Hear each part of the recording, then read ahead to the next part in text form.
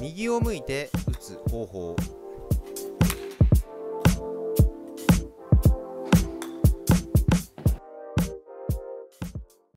まあ、よくねレッスンで体が開いてしまう方っていうのに対するレッスンで右を向いて打てと。右を向いたままで打てばヘッドが返るとかですね。体が開かないように打つために右を向けということをよく言います。ただこの右を向くというだけこの言葉だけですね。を守ってやるだけだといろんなミスが、えー、出ます。しそれだけじゃないんですね。え右を向くという行為の前にある動きをした後に右を向くという動作へとつなげていくということが今回のテーマになります。どういうことかというと今ね右を向いた状態でのインパクトの練習をしてるんですけれどもただ右を向くという、え、だけではなくてその前に一度何て言うんですか左を向いてるんですね。左を向いてから右を向いてるんですね。ですから若干腰を左に切ってその勢いを作ってから右を向くことで腕を鋭く振ることが可能になりますしリストターンがうまくできる、まあ、極端にやってますけどね。右を向く感覚から振り向きざまにヒットする。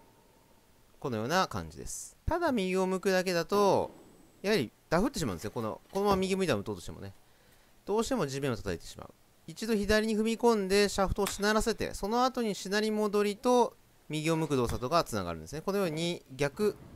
逆に動いた時にヘッドの動きと体とが逆に動いてるのが分かりますね。これが右を向いて打つという動きのコツになります。これでヒットできますね。だから手を振ってるんじゃなくて体を振ってる、まあ、尻尾を振ってるような感じですね。このように一体になって打つということだけだとこの右を向くという考え方が理解できません。下半身リードした後に右を向くと。このような展開腰を切った後に右を向く。この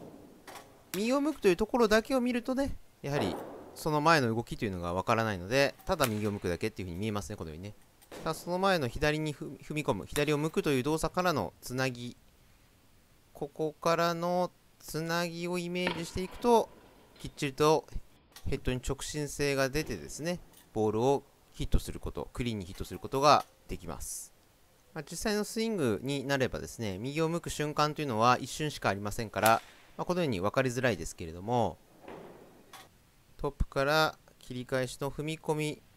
それから体を開かない瞬間このタイミングを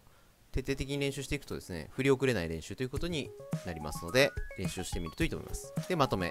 右を向くという動作。この動作でヒットする。でこれをですね守っているとどんどんどんどんできるようにはなるんですがダフルというねこういうミスが出始めます。このようなね。まあ、そこで、えー、ポイントになるのが一度左を向いてから右を向くこの振り向きざまにヒットするということですね。そうすることでシャフトの下に戻りがこのようにヒットになります。ヒットすることになができるんですね。このようにヒットすることができる、まあ、体を揺さぶってるような感じで、まあ、尻尾を振ってるような、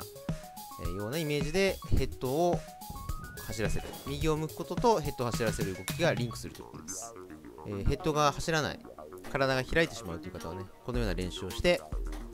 右を向くという動きを、えー、一つ体得してみるといいと思うのでやってみてください。札幌のゴルフスクール原田ゴルフメールマガジン YouTube では伝えきれない内容を詳しく限定動画と文章で解説しております。メルマガ登録もよろしくお願いいたします。